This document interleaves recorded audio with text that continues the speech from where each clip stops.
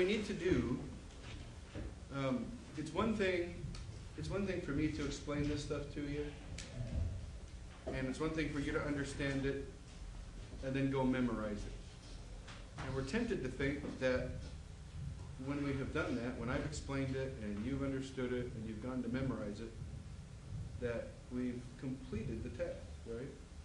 But in fact, that's only the beginning. That's only in the initial stages. What has to happen after you've understood it and memorized it, you kind of have to work it in. You know, it's kind of like, it's, it's kind of like oiling a piece of fine furniture. And so you, you gotta, you gotta just rub that oil in to the wood, right? Well, I guess in the analogy, the wood would be your brain. I don't know if that. But anyway, um, you, you know, there, there, there takes a process of, of working these things in and, and you uh, gaining experience with these concepts, right? And we talked about you need to forget these things several times before you really have it. And you need to gain experience. So there, there are a couple of ways that we can gain experience. We can gain experience by, um, you know, working through all of the things that the grammar has to offer us for our experience, book, right? We could concentrate a lot more on the, um, going through the exercises and things like that, and concentrate more even on examples and stuff like that, right? And that would be good. Or we can gain experience and, and work things in by going to the biblical text. Now, the advantage of being in the grammar is that we're working in the right stuff at the right time, um, which is good. The advantage of being in the biblical text is that's where we want to be, right? Um, to me, at least fifty percent of my job as a beginning Greek teacher, at least half of my job is to motivate you. To motivate you to put the, the time and work into it, and really to motivate you to, to carry on after this class. Now, that part of my job is easy with you, because you all are pretty highly motivated um, to do this. But if half of my job is motivation, what, what's gonna motivate you more than us getting into the Greek text of the New Testament as the way of working that in. So, you know, it's clumsy. Money. Huh? Money could motivate, yeah. That's the way they should do it. That's If they- If they charged you twice as much tuition and then gave you half of it back if you got an A, that would be good. You're onto something now. Would you mention that, Dr. House? All right, I will. Charge the same tuition. So that's, that's how come I like to spend time in the Greek text, because you've gotta work it down, you gotta work it in, you gotta rub it in. Um, I think better to use the Bible, um, than the grammar. I mean, we use the grammar as much as we have to, but let's get out of that stinking book and get into the real world, right? right? You know what I mean? So your handout for tonight, let's just go over that very quickly so that I know you understand parsing. We know that for parsing, we have our tense, voice, mood, person number, vocabulary, and meaning. So there are seven parts to a typical parsing. Now, a participle is going to have an extra part, because we don't have person and number, we have gender, number, and case. An infinitive is going to have two fewer parts, because we don't have anything in the person, number, or gender, number, case column. Uh, But a finite verb is gonna have seven parts to the parsing. What is tense? Well, tense is how you feel after a quiz. No, tense is um, the kind of action, and secondarily, time of action in the indicative mood. We've talked about that. You understand that, all right? Tense. All right, what is voice? Voice relates the action of the verb to the subject, active, middle, or passive. If the subject is doing the action, it's active. If the subject is acted upon, it's passive. So, uh, I ran over a box. Uh, I was run over by a truck. uh, passive. I ran over myself is silly and middle. That's right. That's right. So um, in the middle voice, Um, there are various meanings of the middle, there are various ways to translate it, but in, you can understand the middle voice by understanding that the subject is somehow more involved in the action than just a regular actor. Right? Like you said, I ran over myself. I, I hit myself. Or, or even, um, I made the bed.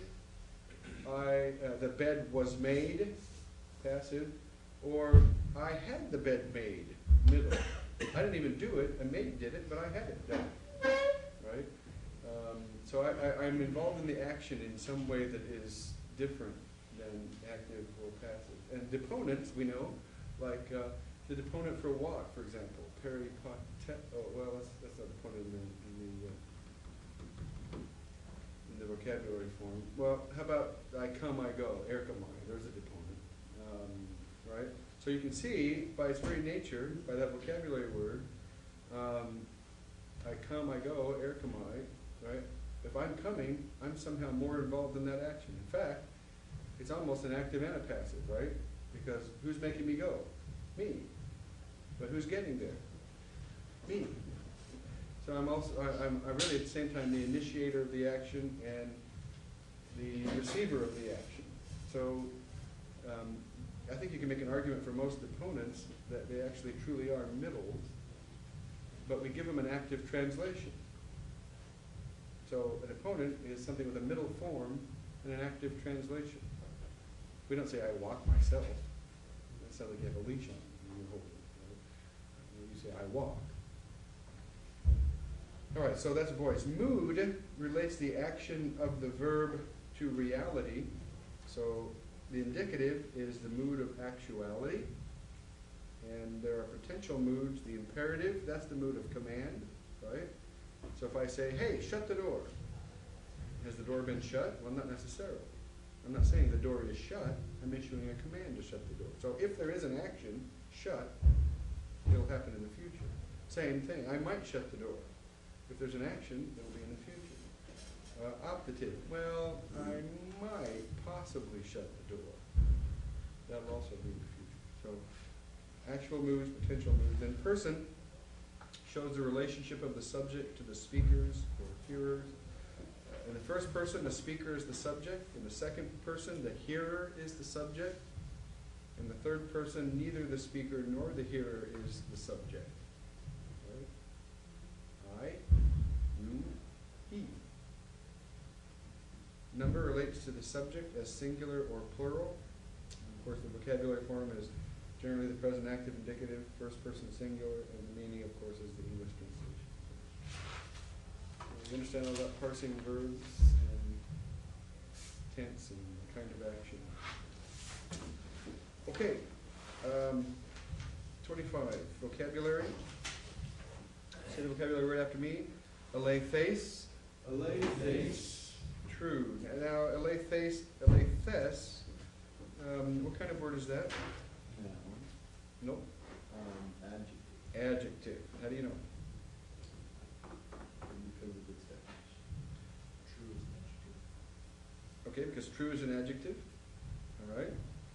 Um, what declension do you think that adjective is in? Third. Third declension. All right. Um, now, what's going on with that?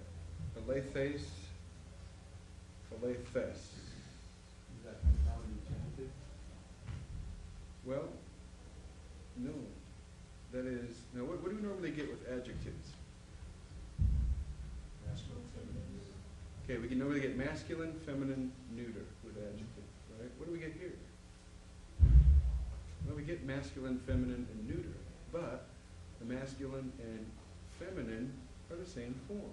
Oh. What we have here is what is called a two-termination adjective. That's pretty fancy, isn't it? That's A two-termination adjective. What's a termination? An ending, very good. And there are two, where there are normally three. Now, you know, I mean, if you separate all the numbers and cases and everything, there's more than that. But in terms of gender, uh, there are normally three, right? Masculine, feminine, neuter. But in this case, the masculine and feminine are the same, so you have masculine, feminine, and neuter. That's what's happening here. All right? Uh, Archaearus. Archaeus. Okay, that's chief priest. Archaearus, Archaeoretos. Now, what's happening there? Ha. What kind of word is that? It's a noun. You're given the article. So we have the vocabulary form, and that's in the nominative, masculine, nominative, singular, right? Uh, well, masculine in this case, because nouns are gonna be one of three, right? Um, so, but that is masculine, nominative, singular. You're given the, um, vocabulary form, and then you're given the article last. What comes in between? The genitive form. What does that tell you? Third declension. So our adjective is a third declension adjective. So sorry there are those. Um, and the noun is a third declension noun. All right, very good. Um, asthenes. Okay, there's another uh, adjective like alethes. Basileus, basileos. King. Genos, Genus. genus. Race, stock, people, descendants, kind. Uh, grammateus, grammateos, scribe. So you can see we're getting a different kind of third declension noun here, aren't we? Right, because they look different. All right, dunamis, dunameos. Very good. Now that's power or strength, miracle. All right? Ethnos, ethnus. Now that one could get you because that looks like a masculine. Uh, it's neuter. It, it uh, looks like it's going to decline after the second declension, but it doesn't. The genitive is oos, which is kind of exciting. All right, that means uh, nation, uh, Gentiles. Um, hierus, hieretos, priest. Now that makes sense if arch- archaearus is chief priest. You see how that works, right? And then uh, hierus is priest. All right. Chrysis, chryseos. Judgment. Judgment is a crisis, isn't it? Uh, oros, orus. Mountain. Pistis, pisteos. Faith, trust, belief. Um, pleres. All right, there's another adjective, just like alethes, full. Uh, polis, paleos, city, and telos, telos. All right. More third declension noun times. Isn't that great? Third declension was introduced in lesson seventeen. You may wish to review the basic endings and special characteristics of this declension. What are the basic endings? Sigma, os, i, a, s, on, si, os. Very good. Sigma, os, i, a, s, on, si, os. You can see, however, that these third declension nouns are not following that, are they? Different stuff. Now, remember the day I gave you that sheet about the third declension? And you thought, well, that's a bunch of stuff that's just unnecessary. Right? Well, it was at that point, but it's not anymore. All right, so feminine nouns in is, eos. The declension of polis, paleos, is as follows. The paragraph below that, it says the stem of polis is poly. Well, if you have that little handout that I gave you, it's now time to dig it out.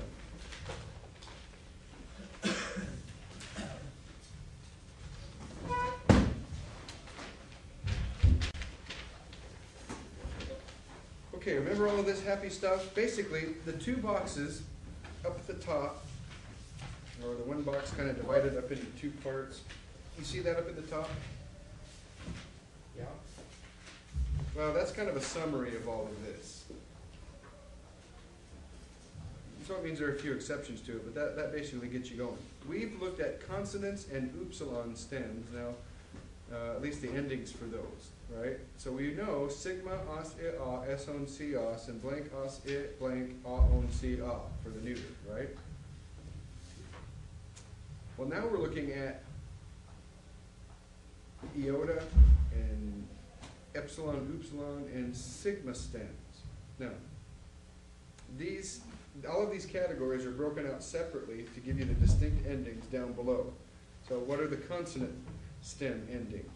There they are. What are the upsilon stem endings? There they are. Now, there's a difference in the upsilon stem endings. You'll notice in the accusative singular, instead of being alpha, it's nu, right? So if you have an upsilon stem ending, it'll have a nu in the accusative down. Okay? Now, the um, iota stem endings uh, go like this. The dash shows you the separation between the stem and the ending. All right? So you have paulis, pauleos, paule, pauline. And if this is correct, that should be what's on the page in the grammar. And it is. Okay, so do you see that? And the plural, uh, paules, pauleon, paulesi, paulit, paules. So here we have sigma os e nu is on si is for ending. Which is pretty exciting, isn't it? And so that's why polis is formed the way it is formed. Now, this is, this is why you like to have the article with the third declension noun. Because if the article is with the third declension noun, it kind of removes the doubt of what you're dealing with. Because it's easy for us to deal with the article. Nonetheless, if we get a little bit familiar with these things, it's not too hard. If we've remembered polis this vocabulary and pauleos as vocabulary, then we get two down anyway, right? Paule, that looks for all the world a lot like a dative singular because it has an iota in it, doesn't it? Without a sigma. Look at the dative plural, it still has an iota in it, but with a sigma. So that's characteristic, right? Os, u, o, iota subscript, on, or ah, os, ah, iota subscript, on. Dative, characteristic of the dative forms is always iota subscript, and sigma in the plural, right?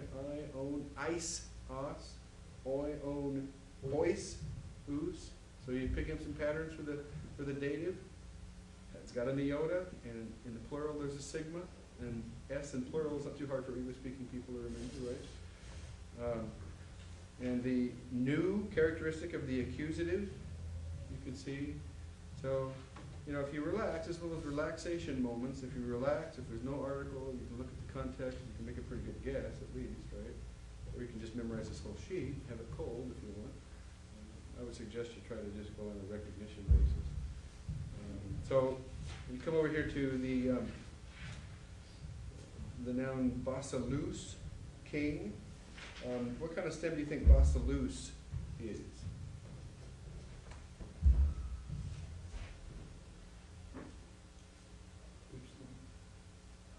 It's an epsilon upsilon stem. It's different than an upsilon stem.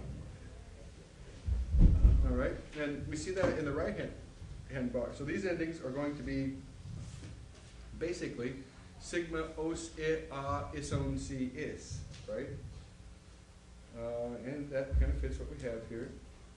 But if you want to look at the epsilon, upsilon stem endings by themselves, very accurately, they're by themselves, uh, right down kind of on the left-hand side of the page toward the middle. You see that? That's exactly what the endings look like. Um, in the nominative singular, we have an epsilon, upsilon ending the stem, and the rest of them, we have an epsilon ending the stem, except in the dative plural. See that? And that explains why you have the forms and endings you have in the book. All right? Now, neuter nouns in os, if we come down here, the stem of genos is what? Genes. So what stem are we dealing with here? Epsilon sigma, the sigma. Stems, right. So that would be the right-hand part of that box to, at the top, right? The sigma stems.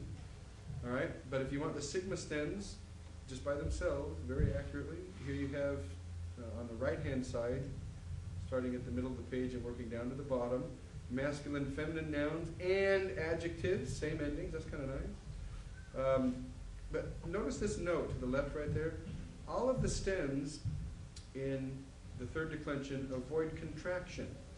So if you have um, basileos, if that contracted, it would just be basilos, wouldn't it? They don't contract. They, they almost sound like the vocabulary form of a contract verb, don't they? See?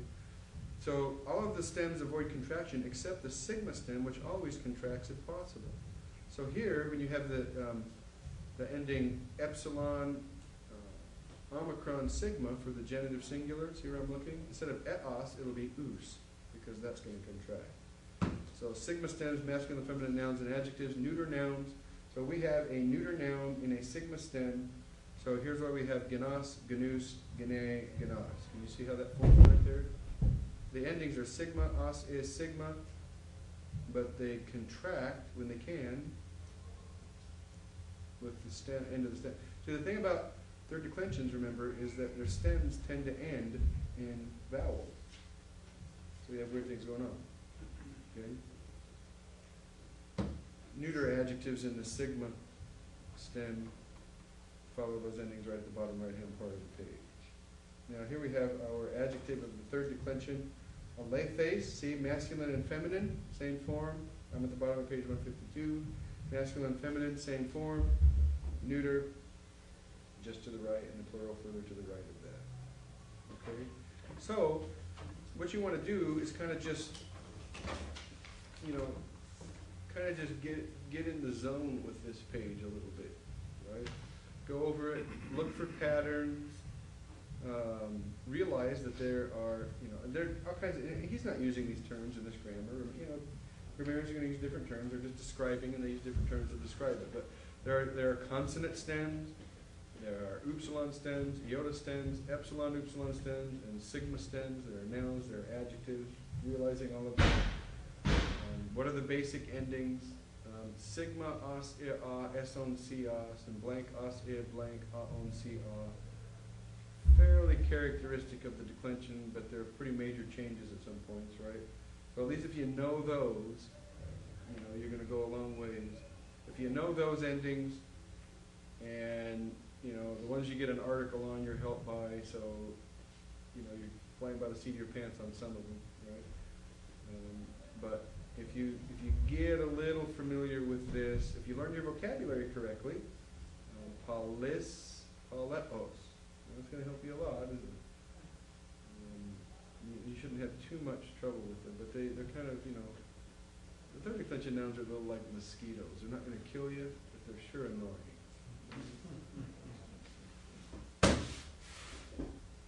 Okay, any questions on third declension nouns, adjectives? So why don't you do every third one again on the New Testament in, uh, in those?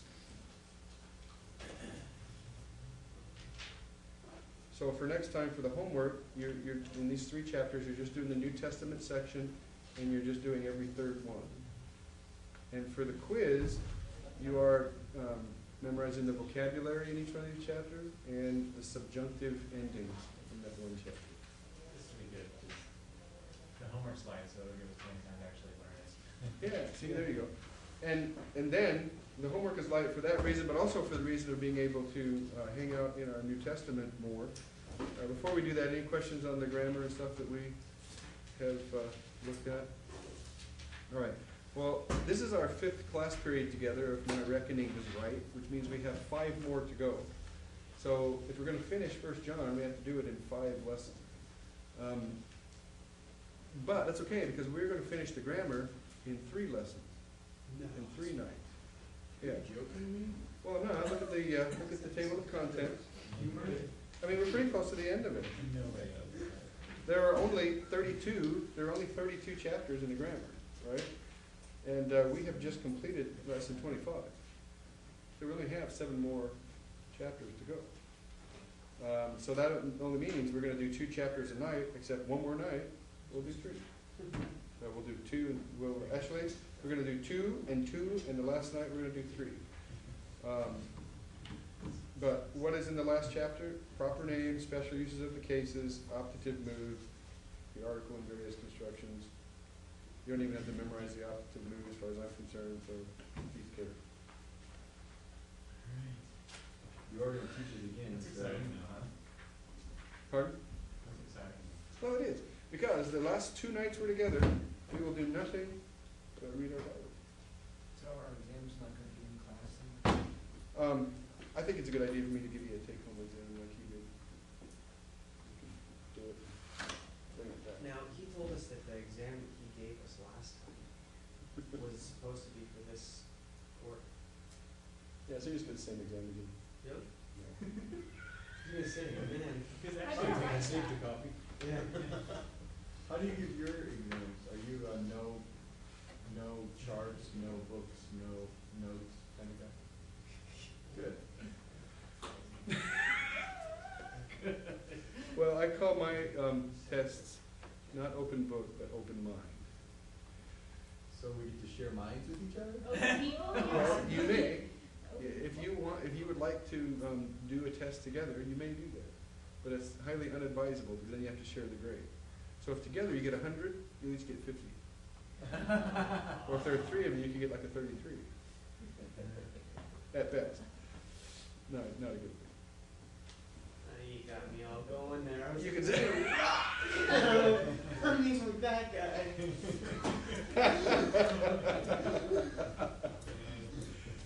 Um, you know, it's, it's gonna be, it's just, the test is just gonna be uh, vocabulary and endings, um, that you've been responsible for, and really, we're not having that many endings. Um, Since, since I started, right? Well, okay, We've had way more since you started. Okay. In that, in that half Well- time that we've had you, we've had way more than I'm at such a all. disadvantage for not having started at the beginning, because I don't, I don't have a perspective on where you've come and that kind of. But in any case, all right, so vocabulary and endings, and um, we can throw in some parsing. So I might put a verb there and say parse this. And uh, translation, and the translation might come from your exercises that you've done. Um, Or it might come from First John. Is there gonna be an English degree? No, not, oh. on- not on the plane. Hip hip. Hooray. Come on. Now, you, it'll just be the, the sentences that we've done and, and, is that what you're saying? Yeah. It'll just be the sentences you've actually been assigned to translate. So if you've been, if you, if I've told you to do odd, then I'm not gonna pick number two to put on the test. I'll pick number three maybe. to put on. Okay, uh, if I remember correctly, you're supposed to, um, do as much of First John one, five to ten as you can handle. Uh, how many of you finished that? Did you, did you get all the way through First John one, five to ten? Okay, good, I'm very glad. Uh, okay, uh, who would like to, who would like to translate for us, uh, from verse five? Well, not from verse five, all of verse five. Okay, go ahead, Stacy. And this is the message which we have heard from him. And we announce to you that God is light and darkness in him there is not. Okay, very good, I like it. Um, look at that word at the end there, isn't that a great word? Udemia. Can you, can you separate that out and tell me what that's from? Three words, right? And not, nor not even. Ude, right? But ude is even made of two words, right? U Yeah. and de. And move? And mia, you haven't had haste mia hen yet? No. Okay, haste, now not ace with a smooth breathing, but haste with a rough breathing, look the same except the breathing mark. Mia hen, masculine, feminine, neuter forms of the word one. Right, so there is, um, there is not even one, you could say. So, so there's no darkness at all. So that's, that's very good. Uh, Stacy, what, what tense is ake ka amen?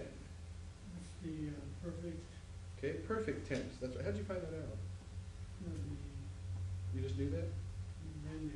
amen. Okay. We, it's a first plural. All right. It's a funny form, and the reduplication in this word is kind of in the middle of the word, isn't it? Pretty odd. How, how did you guys deal with that? How did you find that out? Is it the Yep, that's part of the stem. Second one. That's reduplication. Ake ka amen. It's from akuo, of course. Um, the ending is really amen, second perfect without the kappa. Um, I had to look it up. We have it. Okay. Yeah. I think you did, I think you did have it, uh, it's, I think you'll find it in one of the lists, either vocabulary or principal parts sort of list in the grammars. Uh, I know you've had it in the grammar. What'd you look it up in? Uh, Strong's? Okay. I wonder, I wonder if it's in here.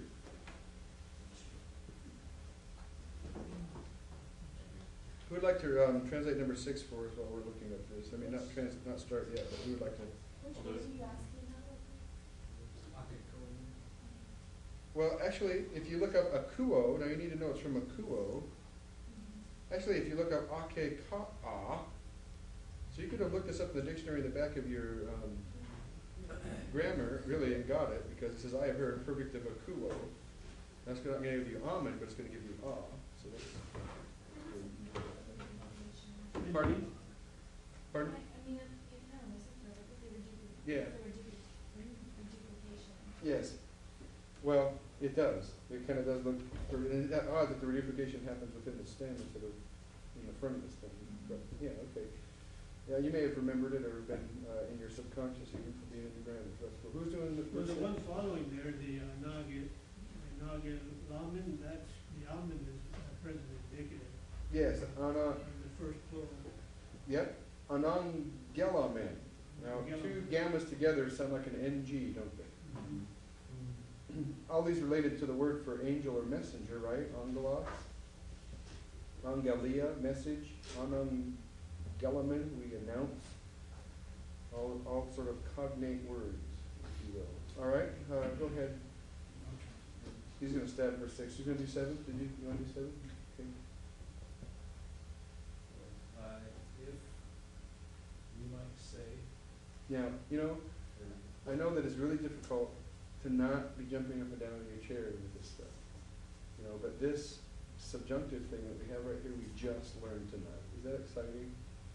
Alright, and we also have indirect discourse here in this verse, which we just learned tonight. It is difficult to stay in my seat right now. This is just so exciting. Go ahead. Alrighty.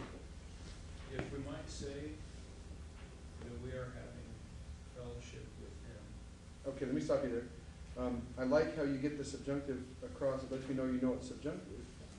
But already in English, if we say, if we say, that's already contingent, isn't it? So we don't really need to repeat that, uh, because it's already contingent. So, um, you know, you did fine in terms of our purposes here, but, but, you know, in the future, you can just say, if we say. Okay, so go ahead. so if we say that we are having fellowship with him, and in the darkness, uh, say we are walking then, or? Mhm. Okay. Um, we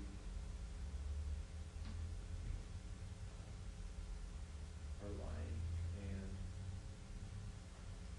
are not doing the truth. Excellent. That's a, the word pseudonymous, right? Pseudomai, pseudo, right? lying. Some of those vocabulary words aren't that hard to remember because of that. All right, very good. That's a nice translation. Um, I can see you got the tenses all out there and all of that, and what a powerful uh, verse that is. If we say that we're having fellowship with Him, with God, with Christ, and we're walking in darkness, we are lying and not doing the truth. So we can make all the claims in the world that we are, you know, connected with God, but if we're walking in darkness, those claims are meaningless. Right? Now, what does it mean to walk in darkness? That's a great question. Verse seven. Um, But if in the light we may be walking as he is in the light, Okay, very good. Now again, same thing with the may, that if already gives you your contingency, huh? I don't have to use that because of if. Because you got the if there. But it's because you have the if, and which if do you have? You don't have a, That one. you have et on. Now, if that were a, you might translate it since or because, which would be better even. Because in English, if gives me the contingency. Mm-hmm. right? Well, A doesn't have really a contingency. I mean, it's kind of, you know, in between, in a sense. But in some contexts, it doesn't have any contingency at all in Greek. So, but we'll go ahead, you don't have to put the may in there, that's, a that's awkward English. Okay. We are having fellowship with one another. And the blood of Jesus, his son, is cleansing us from all sin. Awesome. Now, did you do that just looking at the text right there? Just now? Yeah. Yeah, that's good. That's, you guys are, you guys are doing very well, it's very impressive. Now, you're not writing in your Bible, are you? No, well, I'm not there, I haven't. It's okay to write in your Bible, but do not write vocabulary and parsing in your Bible. Unless it's really, really hard, odd stuff, and if you wrote that, you'd be forgiven for it, but you need forgiveness for writing that. Right? Cause you're adding to the words. Well, you're creating, you're creating a bad crutch if you do that. So, so don't, I mean, if you wanna write notes like, ooh, this is really cool, or something like that, that's fine, but don't, don't write vocabulary or parsing into your Bible, because that's, you know, we're not, we're trying to live without that. Real tough stuff, if you're gonna go back, you know, you, you can do that, but that's, you know, you're admitting defeat at that point. And sometimes, you know, we are defeated, and it's okay to admit that, but just know what you're doing, right? But we're supposed to be losers. Yeah, well, wait a minute. Then we're supposed to be in the balance between losing for a living and not being losers, right? You know, I got, I tell you something, I, the sermon I preached Sunday was about, um, being selfish in the right kind of way, you know? And I had to be very careful with that, but, you know, I, I'm encouraging people to be selfish, right? I know, see, that's the thing, and and afterwards, I, I didn't hear the end of people, you know, joking with me, especially in the young marriage group, that, you know, they're telling their wives that they had permission to be selfish and everything, but the idea was, the immature are selfish in a self-centered way, but the mature are selfish in a Christ-centered way. Why is that important? Because we, we miss the point of Christianity if we, if we say that to deny myself means to deny myself of all of my drives, and particularly my drive for self-fulfillment. God, His intention in calling me is to fulfill that drive for me. To, for that drive to be fulfilled, I have to deny my, not personal fulfillment, but personal sovereignty. See? And it is when I deny my personal sovereignty that I experience personal fulfillment. You see what I'm saying? Jesus said, He who wishes to save his life or soul, same word, psuche, he who wishes to save his psuche will lose it, but he who loses his psuche for my sake and the gospel will save it. Right? Um, so there is a sense in which we have to be utterly selfish. Because what's the best thing I can do for myself? What's, what's, I, I gotta live my life with, with utter abandonment, utter, utter abandonment toward my own self-interest. And what is to my greatest self-interest? To, to utterly give myself in service to God. Isn't it? As Christians, we don't sacrifice for nothing. We sacrifice for something. What, uh, who was the missionary that was killed who said, um, uh, huh? Jim Elliot said, uh, uh, he said, just a second, he said, I give up what I cannot keep to gain what I cannot lose. And both halves of that are very important to understanding Christianity. You can't just say, I'm giving up what I cannot keep. It's not the end of the story. I'm doing that to gain what I can't lose. So the most selfish thing you can do is to serve Christ with all of your heart. The most selfish thing you can do is lose for a living. You know, you think I'm doing that?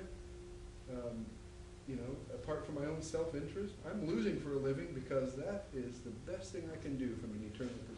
Do you think there's too much baggage that goes along with the term like selfish? I know, and I apologize for it several times in my sermon, but I really wanted to make a point because sometimes we view Christianity is as um, deny myself, meaning uh, I am going to um, deny my own personal fulfillment.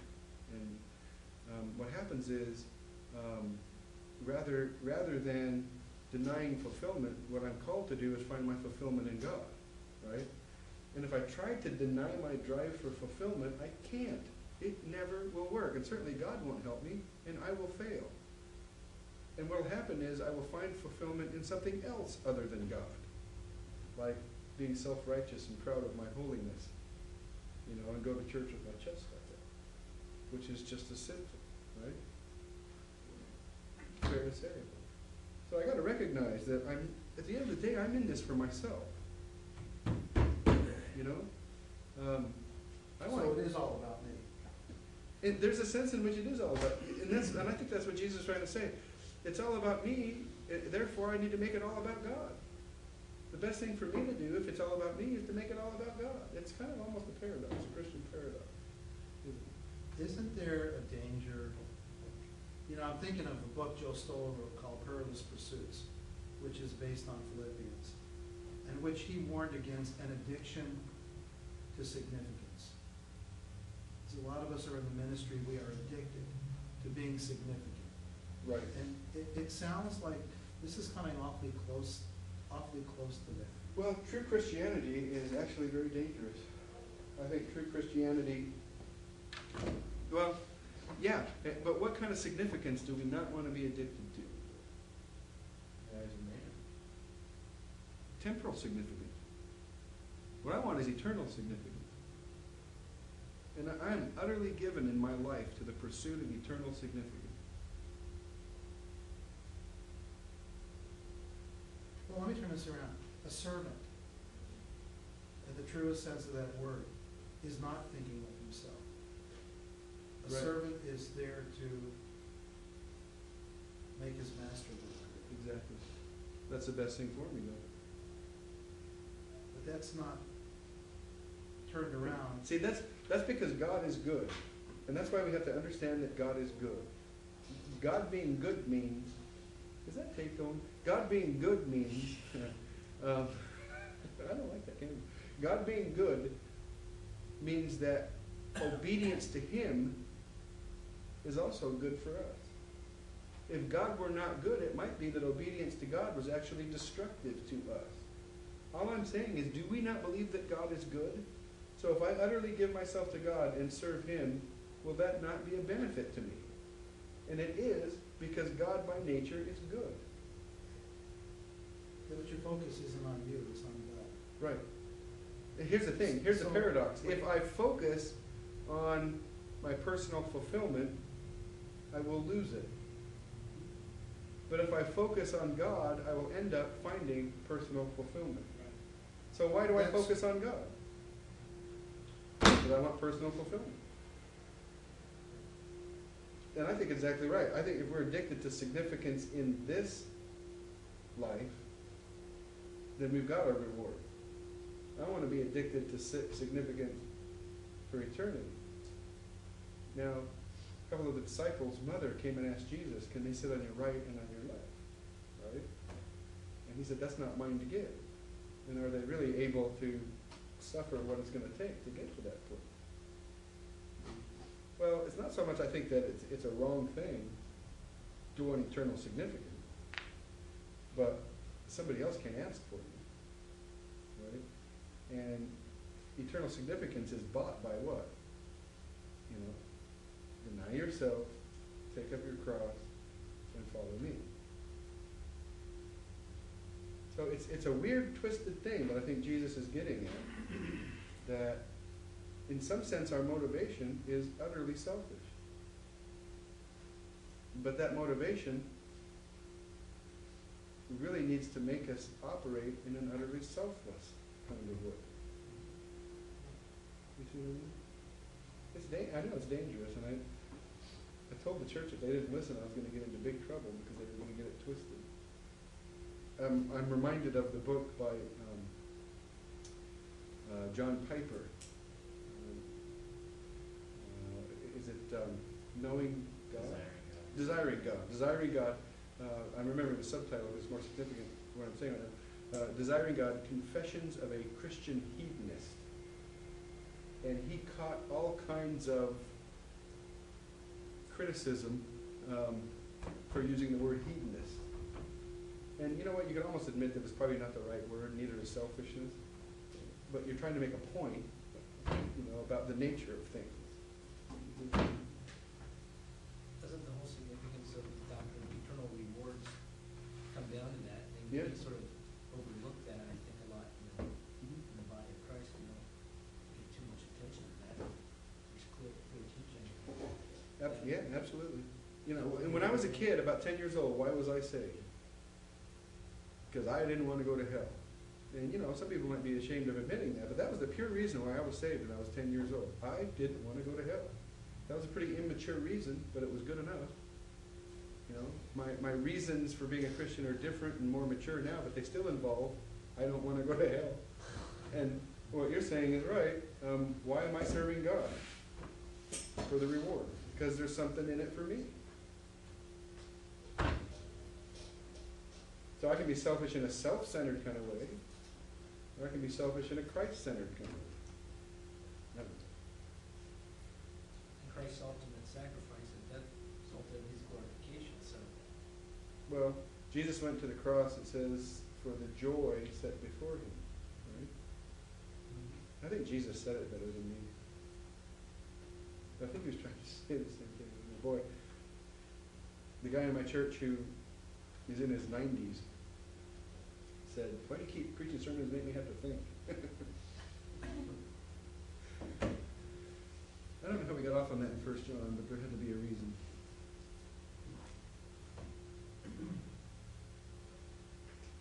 I've been called dangerous, you can imagine. I need, I need Pastor Joe to straighten me out. This remind me the preacher who said he golfs. He preaches the same way he golfs. Always to the right and near a hazard. Hey, you're not gonna tell Earl Radmacher what I just said, are you? Oh, I got the tape. You can tell him yourself. You hear Earl listen to it? Okay, here we go. Uh, what verse are we on? Number eight? Number eight. Eight. You guys are doing remarkably well. You want- someone- Who wants to do it? Yeah, somebody do it. You gonna do it? Okay, who's gonna do nine? You gonna do nine? He'll do mine. You gonna do nine? I'll do ten. You'll do I'll ten. do one, don't, okay. Okay, let's go for it. If we say that we have no sin, we deceive ourselves and the truth is not in us. Very nice. All right. Another, another way of saying that, you know, truth, uh, ourselves, we are leading astray. You know, Ourselves, we lead astray, let's say. Uh, That's a little bit odd in English, but yeah. phenomenon, phenomenon. Yeah. Now, this word, this is an interesting word, planao. Um, John, right? Can you tell me what tense that word is, um, as it is in the text, planomen? That's, uh, subjunctive, Well, tense. um, present active, Okay, it's a present tense, right? Um, I believe it's indicative. Um, I'm, I'm putting myself out on a limb here in my own mind, you know, but I, I, uh, if we say that we are not having sin, we are deceiving ourselves, and the truth is not in us. Now, why is it omen? See, now here, here's, here's a good example. I mean, we know that omen looks like a subjunctive ending, but the, but the vocabulary is planao, alpha contract verb. So I have an alpha plus an omicron equals what? Omega. So that's why we have an indicative here. But it could well be, um, actually, uh, it, it- it would be the same form if it were subjunctive. Uh, but context is telling me that it needs to be indicative. Um, but the word planao is the word from which we get our word planet. Did you know that? Um, and you didn't know that? I didn't know that. Have you ever, um, have you ever seen pictures from Earth of the path of a planet in the sky? Um, who was it that was into the planets? Was that Galileo Yeah. or one of those I'll go with that. guys? You know? Huh? Yeah. But if you see, like from Earth, if you take a picture of the sky night after night, which tracks the path of a planet, um, the path is just, is just all curly like this in the sky. You know, why is that? Because we're, we're twisting and moving around the sun, and that planet is moving around the sun. So from the perspective of Earth, the planets wander in the sky. And this, this wandering, not going down a straight path, is connected to the idea of being deceived. I don't know if it has anything to do with making your path straight or the opposite of that, but um, that's, that's where the meaning comes from. So, you know, being deceived kind of, you know, is connected to the idea of wandering, not being directed properly. Okay, good translation. This is very good. Who's doing the next verse? Okay. If, we acknowledge our sin, he Okay. is faithful and just uh, in order to, uh, um, put away, to put away our sin and cleanse us from all unrighteousness. Okay, very good. Um, if we confess, now, the if here, um, we may or may not confess. I mean, that's a real contingency, right? Well, look at this word confess. It's pretty interesting to me. Uh, made of two words. Um, hama is the first part.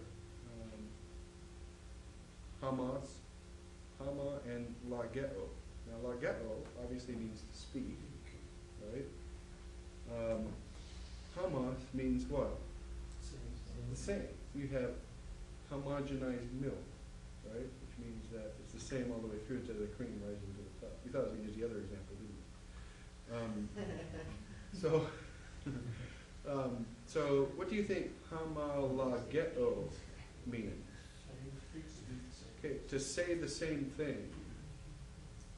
Or you could say even agree. So what does this mean to confess? To speak the truth, maybe? Well, yeah, to speak the truth, but it really means to, to speak the same thing. But, yeah, agree with. But agree with whom? Uh, Agree with God, right? Yeah. So we do something, God has a perspective on it, right? When we confess, we are taking God's perspective on our action. So confessing isn't simply admitting, it's not, if we admit our sins, right? Okay, I did it, I did it, that's admitting.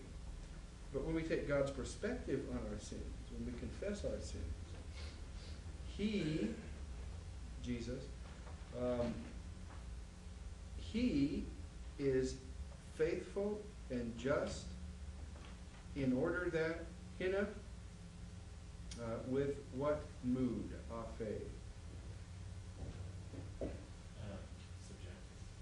Okay, with the subjunctive, all right? Uh, in order that he might forgive, right? Uh, we'll talk about that word in a moment. Um, so hina is introducing a result kind of use of the subjunctive. So the result of Jesus being faithful and just is that he would forgive.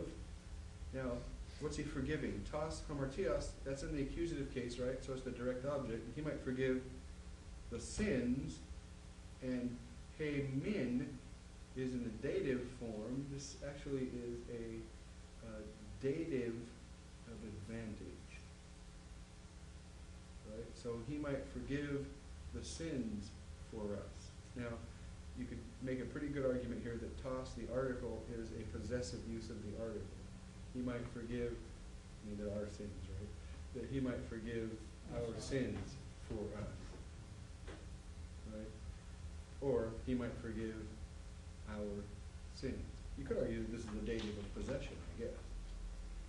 But it's not unusual, this construction is not unusual, with this word forgiveness. Forgive the sins for us.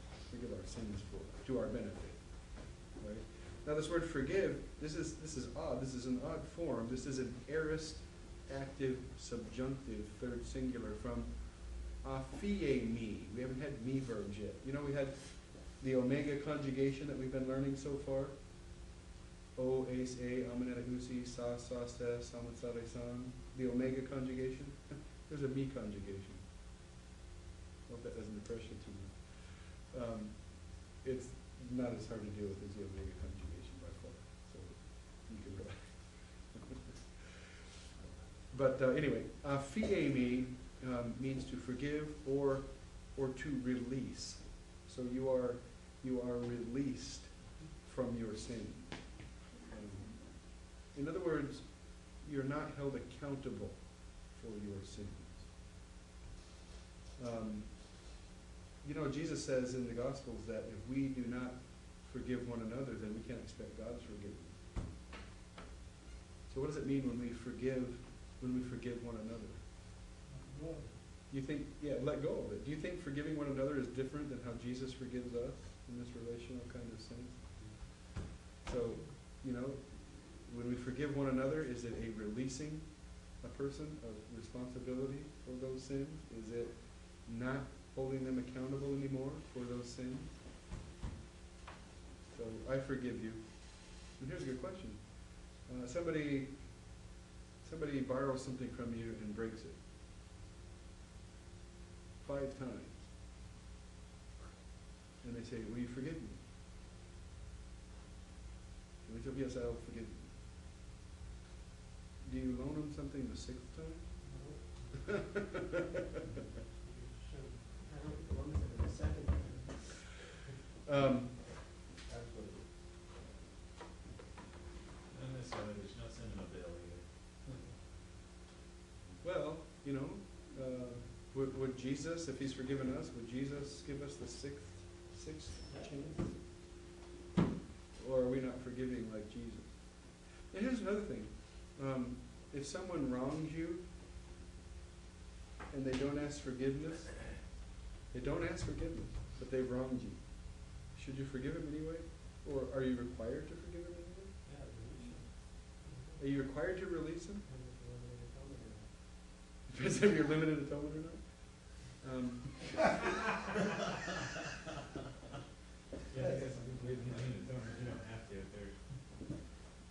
So your husband forgets your anniversary. Are you required to forgive him? If he does, if he, if he says, if your husband says, it's just not an important thing, get over it. Are you just required at that point to forgive him for thinking so little of your anniversary? I'd be dead. There would be no forgiveness necessary because you'd be dead. No forgiveness possible. Well, I might challenge you to think, because I kind of think that no, you are not required, nor should you forgive a person who doesn't ask for forgiveness. Are we going to go beyond what God does? Because God does not forgive those who do not ask for forgiveness. he does in a way, and then another way he doesn't. And I, I Can kind of you, think that it can would you be. release that to God and say, you know what, Lord, I've gotta give this to you to deal with them. But I do think that on a, on a horizontal level, there'll be, there, there won't be a a fellowship there. Yeah, well, you know, lack of forgiveness can eat you up, right? Yeah, it doesn't, I mean, I think even just for our own sakes, we need to forgive people. Maybe when we, we never even see again, and, you know, somehow wronged us. I, but I, thi- I, I think, I like what you say, I think we confuse it.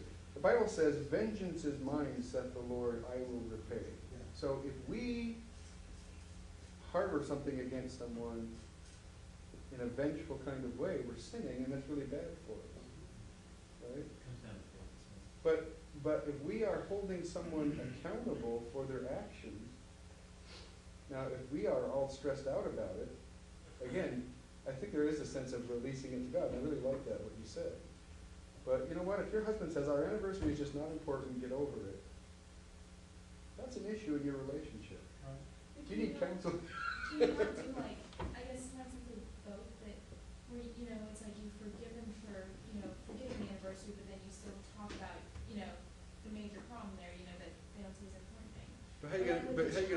problem if he, if he doesn't even admit that there's an issue? You can make someone talk. you can get into a conversation with someone, but well, yeah. I'm just like I mean with a child. If a child does something wrong, you can forgive them, but you still might need to punish them for it. I haven't so forgotten a single anniversary yet. That's a very good thing. I haven't had one yet. oh, don't, because it's not a good thing. Yes. I was gonna, I was gonna ask. Can you forgive between you and the Lord? Um, you know, say person X has offended me, and before the Lord, I've forgiven them, but that person and I have not reconciled? Would you say there's Yes, I any think so. difference between that? I think something like that. You know, you turn the issue over to the Lord. Well, what does David do in the Psalms? I mean, we look at the Psalms and go, oh, that must have been Old Testament where they killed people, that can't be for now. You know, what is, I- I don't think the Psalms are so much not for today. Uh, I what- love the imprecatory song. Exactly. I love it. What did, if that camera were on, I'd tell you a story about imprecatory Psalms. Um, I could take, What- I can turn it off. yeah, what did David, what did, what did David do? Did David have enemies in the Psalms? Oh, you couple. And did David just forgive his enemies, or what did he do? He, he turned them over to God and said, God, smash their teeth. Um, But there's also a reconciliation. Even in Romans thirteen, I mean, he quotes that uh, passage from Isaiah, I think it's thirteen, maybe twelve, where it's uh, talking about, you know, if your enemy's hungry, feed him, if he's thirsty, give him a drink, because instead of him, you're keeping coals of fire in his life. Yeah. Well, yeah, but what did David do with um, Saul? What did he do with Saul when Saul was trying to kill him? David had more than one opportunity to kill Saul, and he didn't do it. Yeah, that's a whole other interpretive thing. What does heaping coals of fire on their head mean? Um, you know, David didn't actually lift a hand against God's anointed. He was king, so that was another thing. But um, you know, I think that let me, let me tell you what made me think about this. Remember, there was, it's been some time ago, I think it was Paducah, Kentucky, where there was a group of kids praying in a circle. And one of their classmates came in with a gun and shot a bunch of them. Remarkably, uh, made all kinds of, you know, accurate headshots with a handgun at some distance, which is very difficult to do, believe me. Um, and he, he was able to do that because he practiced so much on video games, that gave him the skill to do that. Um, but he, he shot and killed some of those kids in that group praying. And the, the, the, the boy who was actually leading that prayer group said uh, right away on the news, well, we forgive him. Now, was it appropriate for him to right away forgive that kid who shot? Not that it was such, not because it was such a bad thing the kid did, but the kid had not asked forgiveness.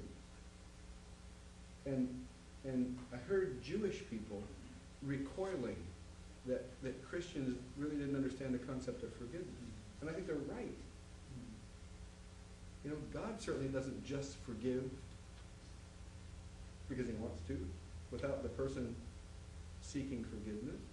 Should we just release someone of responsibility for their actions when they haven't sought that release? When they haven't admitted what I did to you was wrong? See? Now, what does Scripture say? When someone offends you, what does Scripture say to do? When someone offends you, you are supposed to what? Forgive them, whether they want it or not? No. Go to that person and confront them, and your confrontation could lead to them being kicked out of the church. If they what? Don't admit that they've done wrong. Mm-hmm. So I just wonder if we really, as Christians, do properly understand forgiveness and its relationship to vengeance, and, and certainly if you harbor bitterness, you know, and vengeance in your heart to somebody, that'll eat you up, and you can't do that. But is that the same as saying, you know, it's okay, you're not responsible for what you did. You don't, I, I don't care. In a sense, you're saying, I don't care if you come to a point of realizing that you did wrong. Wasn't that the issue? I mean, isn't that why there's, one- there's a difference between us going to God and, and between God, and we're not gonna hold it against the person, but just like, like in the Matthew passage, when you do, when it does say go to confront, you know, and then take people, and then if they decide not to, he says treat them like an unbeliever. And I think, how do I treat unbelievers? Right. I was all. Right. Well, you still love them and you try to evangelize them, Yeah, exactly. but you don't have the same fellowship with them. And what supports what you're saying is, what did Jesus say on the cross? Father, forgive them, for they know not what they do. So you gotta, you know, you gotta put that in the whole mix as well. I think of like, uh, the the believer's context and relation with God, uh, we're forgiven, but there's, that doesn't mean we're, uh, never gonna be held accountable for some things we do, like in First Corinthians three, when it talks about, you know, some will be uh, judged, you know, there will be some or gold, silver, and precious stone, which in some, I mean, we're still gonna be held accountable to some extent, but, but we're not gonna be, Yeah, it's in Corinthians five, especially. yeah. Yep. Well, check this out. This verse says, if we confess our sins, he is faithful and just in order that he might forgive us our sins and cleanse us from all unrighteousness. This brings up another issue. I thought we were already forgiven of our sins as Christians. Now, when you got saved, the day you got saved, and I'm making an assumption that all of us are saved here, I think that's probably a pretty fair assumption. Um, the day you got saved, were you not forgiven of your sins? And were you not forgiven of your sins, past, present, and future? Is that not true? And how is it that he can say, if we confess our sins, he is faithful and just to forgive us our sins and cleanse us from all unrighteousness? It's in the context of relationship, talking about fellowship here. Yeah, the whole, So- book of John's got fellowship. Yeah, First in the context of All right. fellowship. All right, it's about fellowship, where when we're saved, we're forgiven in what sense? Position, position. Position, what does that mean? Just Right. Uh, uh, Like, uh, maybe legally, or, Okay, legally, we're justified. That's a legal term. We are justified in Christ, so we are forgiven legally, positionally, and probably relationally at that point too. But then we can mess it up, right? All right, so this is talking about more um, relational issues of forgiveness or lack of, of the same, not legal issues. Um, We are, we are properly related to God as sons, as Galatians says, but that doesn't mean we don't need forgiveness in a relational sense, yes. Could this be a clause, like one of those clauses that if you've done this and you have, then this is the outcome? No, no, this is, How, this how is, do we know grammatically? because this is ean with the subjunctive, which means, Oh, yeah. which means it is a, uh, a conditional sentence that, And then A, the epsilon iota would be one. yeah, that would be since, since this. Okay. And then there's the other one, you know, i- if this were true, but it's not, well, that's not what we have here either, right, this, You have an addition to the gospel too, if it was talking about our positional forgiveness. Yes, that's right. All right, there's another thing in this verse, if we confess our sins, that is, if we, if we look at our sins from God's perspective, uh, he is faithful and just, in order that he might forgive our sins and cleanse us from all unrighteousness. So if we confess our sins, we're gonna be cleansed. Now, this can't be positionally, right? Because of the discussion we just had. It's gonna be relationally and practically?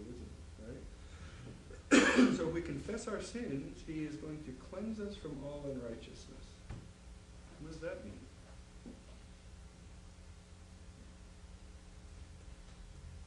Means we're not gonna sin like that anymore? Maybe after time. Of continually. What if you confess a sin and do it again right away? Did you really confess it? Remember, it's not admitting it, it's doing what? It's, it's looking at it from God's perspective, it's agreeing with God. So maybe if we are looking at it from God's perspective, we're gonna have a tendency not to do that. well. But when we're not Yeah. looking I at it from I don't God. agree with that. Yeah, I don't either, cause, cause you Romans can. seven, like, I mean, he, he agreed that that sin was wrong, he agreed with, with God about it, yet he was still, he didn't understand He was how, doing how he was, he was deceived, the wrong. uh, in other ways, not, not Right. in understanding that it was wrong according to the word of God. People are complex, right? Uh, we can, we can be saved people and still accomplish great evil, can't we? And, but we can even des- be saved people desiring to do good, you know, loving the law of God and still. He was deceived on, on. But, but can't we, cause we, we know the sin is wrong, Mhm. but where are we living? See, are we living in that space? Within our being, right? I mean, we can't at the same time know something is wrong and not be looking at it from God's perspective. I think. Because if you ask me, okay, if you ask me, is that wrong? Well, yeah. Well, why are you doing it? because I'm walking according to the flesh, which means that, where's my perspective at that point? Not defined by God, but the flesh, right? Yeah, in, in, in regard to perspective on the sin, is, is, is what we're saying though. Yeah, and Right. he, it said he delights in the law of God according to the inward man.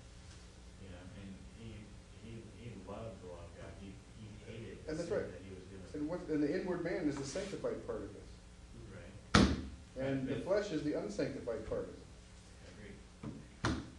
So, does that, does that sanctified part of us go away because I am operating in the flesh? No, that, that's kind of my point, is that we can, we can have, I mean, we can have God's perspective On, on and be, sin. and be in the spirit, you know, filled with the spirit at one moment, and the very next moment, we could be walking according to the flesh and doing this exact same thing that we were just confessing. Agreed. But, we're not operating from God's perspective at that point. At that point, but that's, but that's not, you know, two seconds ago, or whatever. Right. But I, I can still know God's perspective. Yeah. And I, I think this is where faith is more than just knowing. Again, we kind of had that discussion, mm-hmm. you know. Faith involves more than just knowing. Faith is what I'm trusting. If I'm trusting the flesh, now I'm looking, I'm coming from a different perspective as opposed to trusting the spirit. Yeah, well, I have to confess that I don't have all the answers to these things, but they're great questions, aren't they?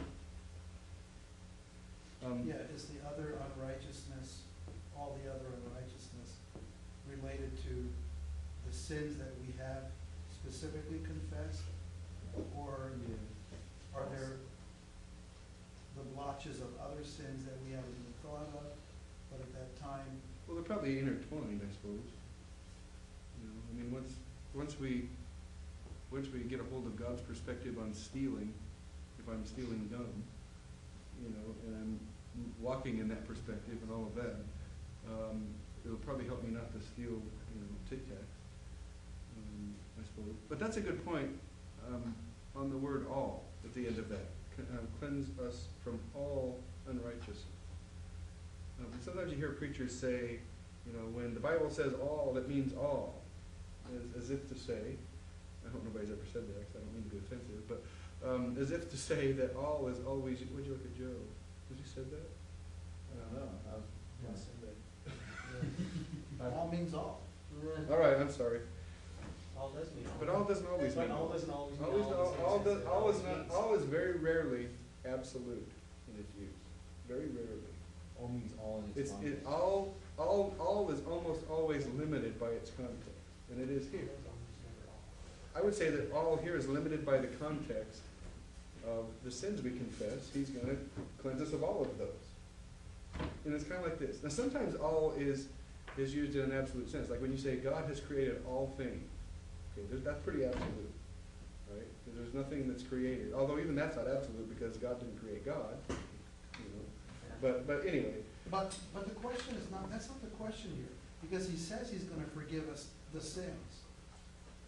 If we confess our sins, he is faithful and just and will forgive us the sins. And cleanse us from all unrighteousness. What is that? And tell me how the word all is limited there. right, well, in this context, it's singular, so you really could translate it every unrighteousness. Whether that makes any Okay. difference, whether that makes any difference, sure. I don't think so. But, um, I think in the context, it's, it's limited by, um, it's, it's limited by what we confess. I mean, I think, I think, well, you've gotta be careful, you know, but it seems to me reason tells us that if I confess one sin, now I'm not, I mean, like, and we're not trying to theologize based on experience really, but is it really true that, I mean, does it ring true that if I confess even one sin, then I'm now cleansed of all unrighteousness? Well, it seems you have to confess. Well, well, let me ask you this I question. think it's our notes. If, if I don't, if there are other sins there and I don't confess them, then am I still out of fellowship with God until I have confessed? Every sin by. Well, Yeah. I mean, think about it this way, if you're if you were, you know, living in adultery, and, and, uh, you know, you, uh, uh, s- gave someone the middle finger when he cut you off, you know, and you go, oh, you know, Lord, forgive me that, like, I don't know if confess your known sins, and I think that's the issue, because, I mean, because the idea of confess is that, is that we're, um, we're coming to the, the same perspective as God, I guess, we're acknowledging we're not sent to sin as sin, and, I mean, also in the context, you're looking at, him saying that there's no darkness whatsoever in God. And, um, I think, I think we have to confess our known sins, but I, I think if you, if you, you can't say that, that not confessing unknown sins, um, is, is, is, is gonna keep us out of fellowship, because, I mean, I've learned things in the last month that are sins that I had no idea were sins. Right. Well, here, here's the deal. And, I'd, I'd like to get away from the idea of enumerating particular acts of sin here. Now, I gotta be careful, because it is sins, plural. right, But I, I think to take God's perspective on my sins is not about enumerating to God, okay, I sin here, I sin there, because, I mean, think of the practicality of that too. I mean, how do we, if we sin so much, how do we even possibly keep track of our sin? You know, well, God will bring them to your memory. Well, I don't think so. I don't think we'll even remember all of our sins. But if I can gain God's perspective on my impatience with my children, that is going to change how I operate. And I don't necessarily have to go back and remember every time I've been impatient with my children. And I, I- think even if I went to my kids and confessed that, and if I said to them, which I have, you know, I tend to be impatient with you in these contexts or whatever. I don't think my kids require me to go back and say, yeah, well, for the last, you know, I'm, I've been alive twelve years and I remember, you know, uh, nine of those, and these are the times when you've been impatient with me. I don't think they care about that.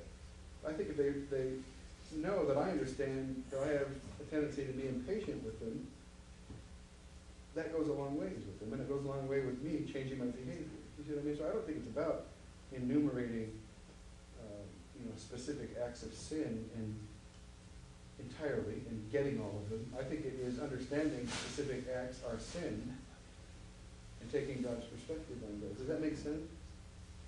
but also, um, I'm, I'm looking at uh, a couple of, uh, lexicons here for, on the, uh, Hama Log, uh, Logamen. Logan- Homologeo? Logeo, yeah, sorry. Um, and, uh, I, I don't see any of the definitions pushing it as, as far as what, what you're saying. Well, you'll see a definition, confess. Right, I, I see, I mean, to say, say the same things another, to agree with, sin, concede, not to refuse, um, promise, not to deny, to confess, to declare. Well, I'm surprised that it goes as far, uh, as it does. Well, it says that you're finding agree with? Um, yeah, well, assent, yeah, to agree with, to assent, but that, I don't see anything that's saying that, that we have to, I mean, come to the exact same perspective that, that God has, but just Well, I think that's just another way of saying agree with, isn't it? well, To give assent to, to agree with, to say the same thing as. Who are you confessing To confess. Um, in- Right. in English, we tend to look at confess as just, okay, I did it. I'm just suggesting that this is more than, okay, I did it, it's a change of, it's a change of mindset, a change of perspective. but would that not be to agree with someone, if someone says you sin, and you say, okay, I agree with you, I did, it," you know? You have to.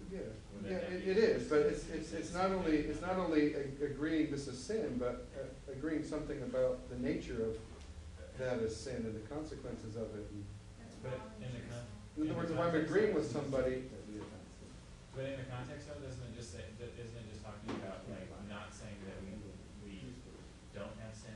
He's not. I mean, it shouldn't be just the opposite, like, of, well, it's let's say, like acknowledging. let's say, like, it's the plural, it's saying, let's I'm saying, I'm not gonna say I don't have sin, but I'm also gonna confess my sins, Right, plural. right. Um, and we're talking about the Word of God. Am I, am I not trying, by reading the Word of God, to adopt God's perspective on things? And I'm, I'm, I'm saying, I, I, I'm not disagreeing with you there, I just, I, I don't. I, I think I am reading in a little bit, um, at least other teachings of Scripture, Mhm. you know, like Romans twelve, uh, first couple verses. Um, uh, Deut- not be, how does it actually get formed? I, I can think of the English translation, do not be conformed to this world, but the word world there is not cosmos, it's age. Um, do not be conformed to this age. In other words, don't allow your mindset to be limited to this time frame. Take an eternal perspective. And so, you know, as a Christian, I'm trying to gain God's perspective on life. And so I'm reading that into that. I, I'll grant you that. But I don't think I'm violating very much the concept of agree with, um, let's give assent to, um, say the same thing. I mean, I, I can, to, to me, it's not just, it's not just um, spouting words, say the same thing as, but I'm saying the same thing because I see it like God sees it. Right, I just, I, I don't know, I just would, I don't know. It seems like if, if we push it too far, though, we're putting stipulations on there that John isn't, at least, at, at least isn't making clear, you know, that, I mean, Well, I guess things I- like repentance. In a sense, I kind of wonder why I can admit my sin, and it doesn't change my behavior. But you'd think that he would say something about that, if that's what he was meaning, right? I mean, I Well, think has that- he? In other words, Well, what we're I think discussing confession is. is not the same as repentance. Yeah, my, my idea here is that, that, that, that John's actually Is it? talking about it from a, a, Well, is confession the same thing as repentance? I don't think so. But, You know, I'm, I'm kind of thinking this is just another word to describe maybe another side of the same coin. I mean, is confession really all that different from repentance? What does the word repent mean? Change your mind. Now, this is not, this is not focusing on the mental, this is focusing on, you know, the verbal. I don't know if you literally have to say it out loud, right? But is this just using, you know, verbal kind of language to describe the same thing that repentance describes in mental kind of language? I don't know, I kind of think so. Becoming aware of yourself and from a different perspective, right? But, I- you know, I really do appreciate what you're saying about, if, if we're really gonna be serious about what John is saying, and that has to be our starting place, let's not import too much here. Right. And I, I really take that as a very positive uh, admonition. And I, I, I, I agree So, and take the same perspective.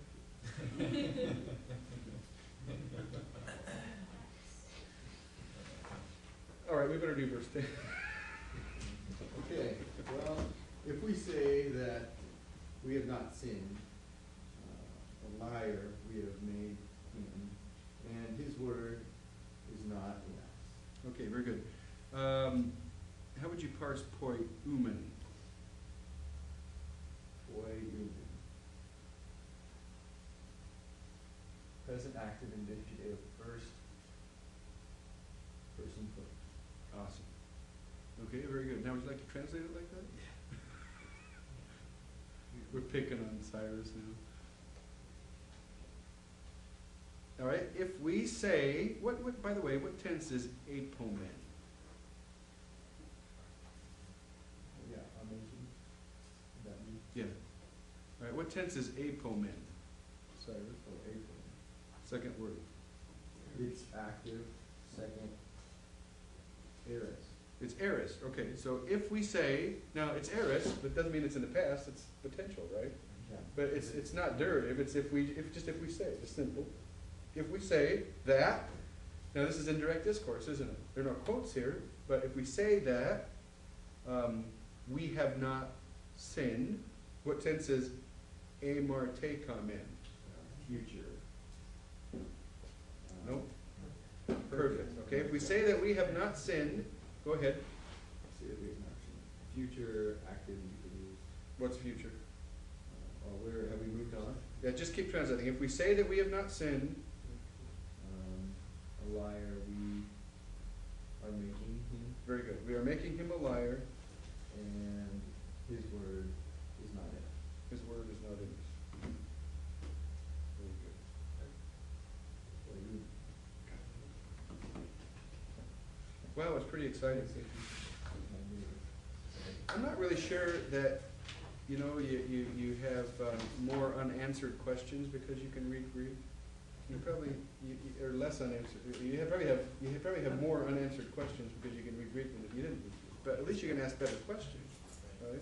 Yeah. And asking questions is the key to good exegesis, isn't it? Asking the right questions. I Uh, think it's awesome, I'm really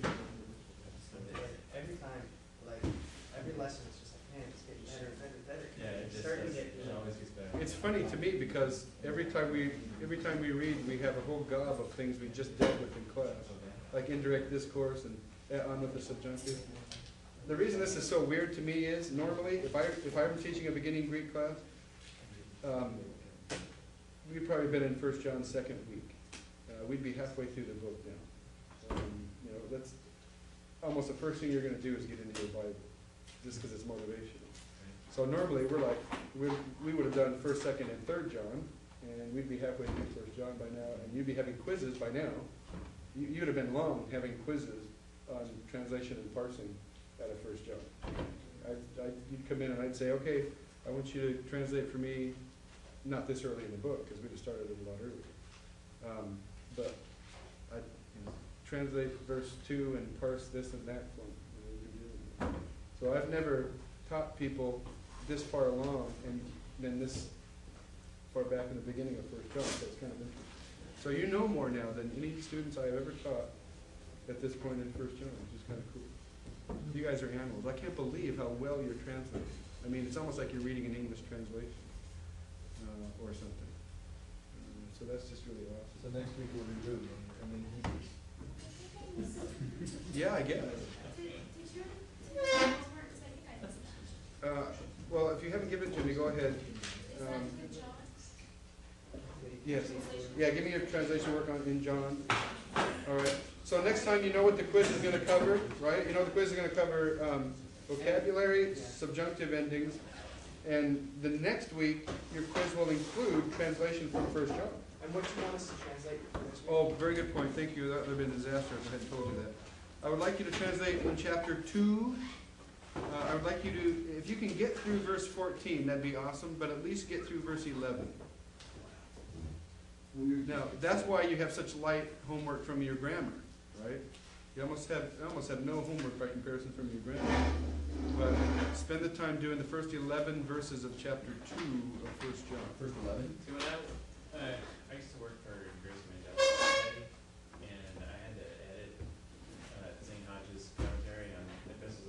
Did you really?